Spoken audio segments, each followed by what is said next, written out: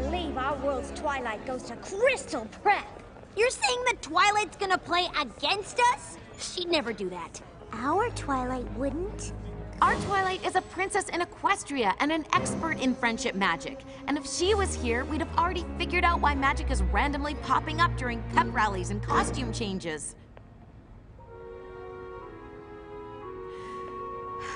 Oh, sorry.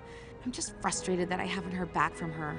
She's a princess in Equestria. Probably got problems of her own to deal with.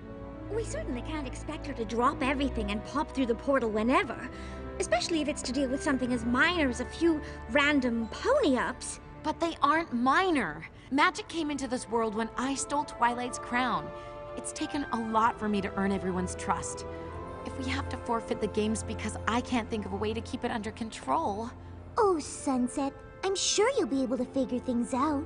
You're the one who helped us understand what was going on with the sirens, remember?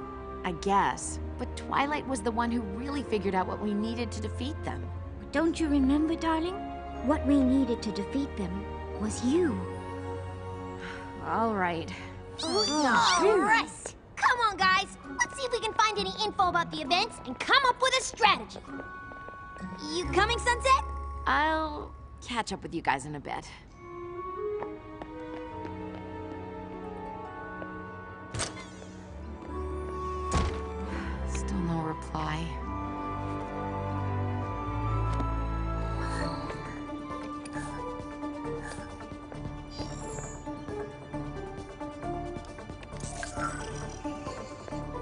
Maybe there's another way I could reach her. Hey, let's go!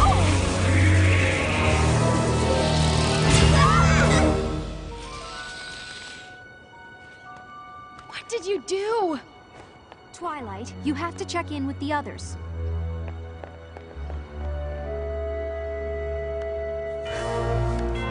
Where's the portal?